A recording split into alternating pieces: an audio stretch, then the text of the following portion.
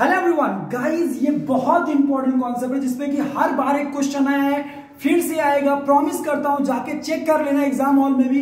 Confirm आएगा। क्योंकि यार ये एक ऐसा कॉन्सेप्ट है ना, जिसको कहीं भी लिंक करा के बहुत सारे तरह के वेरिएशन बना सकता है। जैसे कि, ये है क्या पहले ये समझ लो this is based on mechanical energy conservation when there are conservative forces मतलब फ्रिक्शन जैसे या एयर ड्रैग जैसे फोर्सेस नहीं लग रहे हैं, या फिर सूडो फोर्सेस नहीं लग रहे हैं। क्लियर है?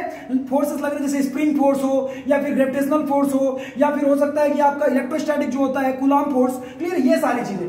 तो initial kinetic energy plus potential energy is equal to final kinetic energy plus potential energy okay इसका क्वेश्चन आपको ग्रेविटेशन में देखने को मिल सकता है, जहाँ पे कि आपको स्केप वेलोसिटी से रिलेटेड क्वेश्चन ऑर्बिटल वेलोसिटी से क्वेश्चन ये बना सकता है। वर्क पावर एनर्जी में कितने हाइट तक चढ़ेगा, कितनी हाइट से गिरा है तो कितनी वेलोसिटी होगी। वर्टिकल सर्कुलर मोशन में कुछ भी आपसे पूछ सकता है इस पर्टिकुलर कॉन्सेप्ट पे बेस्ड क्वेश्चन उसके बाद इलेक्ट्रोस्टैटिक्स में क्लोजेस्ट अप्रोच का रिलेटेड पूछ सकता है इंपैक्ट पैरामीटर का पूछ सकता है, या फिर दो चार्जेस है, एक रिंग है, ये चार्ज मूव कर रहा है तो बताइए कितनी वेलोसिटी दे दे कि रिंग को क्रॉस कर जाए। ऐसे बहुत सारे क्वेश्चन बनाए जा सकते हैं my dear with the help of this concept करना कुछ नहीं है। Initial kinetic energy half of M V square plus initial energy potential energy minus का जीएमएम बाई आर यदि ग्रेविटेशनल फ़ील्ड है तो। यदि मान लो कि चार्ज केस में है तो के क्यू क्यू बाई आर या K Q Q dash by R charges को भी प्रॉपर साइन कन्वेंशन पुट करना होगा।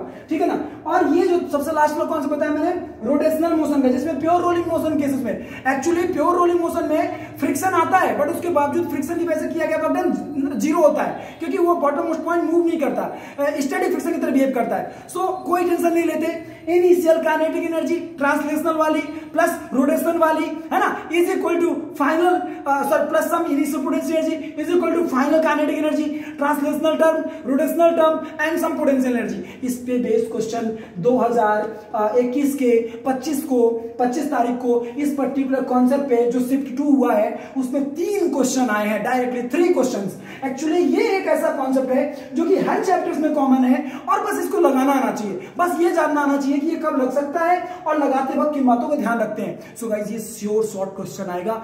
आई प्रॉमिस अभी आप इस चैनल पे नए हैं तो गाइस चैनल को सब्सक्राइब करिए, क्योंकि ऐसे बहुत सारे वीडियो आप लोगों को मिलने वाले हैं। और आप लोगों की काउंसलिंग टाइम पे मैं आपको फ्री ऑफ़ कॉस्ट मैं और मेरी टीम मदद करने वाले हैं। तो यदि चैनल पर नए हैं तो चैनल को अभी सब्सक्राइब करिएगा नोटिफिकेशन बेल करिएगा। और गाइज़ मेरी मेहनत के लिए दबा के लाइक ठोकिएगा और दोस्तों के साथ शेयर करिए। Thank you